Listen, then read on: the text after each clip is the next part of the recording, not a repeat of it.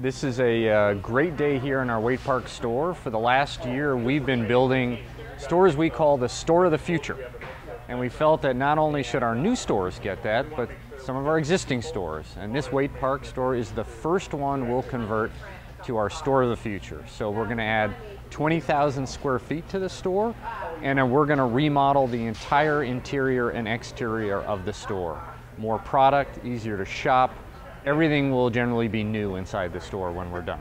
Earlier this year, we built a new distribution center, which allows us to control inventory in the stores better. So our big back room is no longer needed. So we're going to convert about 20,000 square feet of our back room into shoppable area for our customers. So as of this morning, we'll start the remodel. The remodel will go in the interior through April.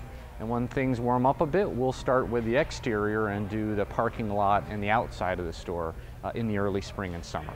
Well, first we look for a community that's been incredibly supportive of Fleet Farm for decades, and the Waite Park store clearly uh, hits that bill. We look for stores where we're a little bit bursting at the seams. This is one of our best stores, and it's hard to do as much business as we do in this space. And we also wanted a store where we felt we've got a lot of loyal customers that would appreciate the upgrades. So it seemed like a perfect fit here in Waite Park. We will be open through the entirety of the construction. There will be a little bit of pardon our dust, but you can come in and shop all the sections of the store. We'll do the vast majority of the work at night and during the weekends.